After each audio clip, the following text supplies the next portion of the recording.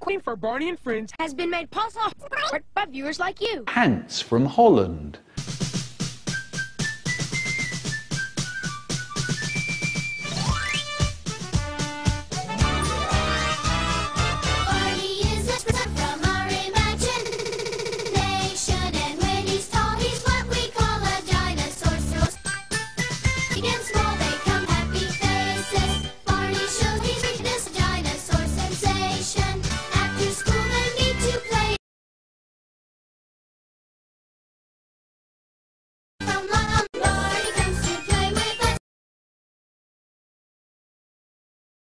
Good evening, boys and good boys. I got a little story to tell y'all.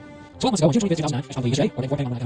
what it boils down to, YouTube Poop News is now old. And Guy Safari wants me to do a news show about his ego. How sad is that? Sad.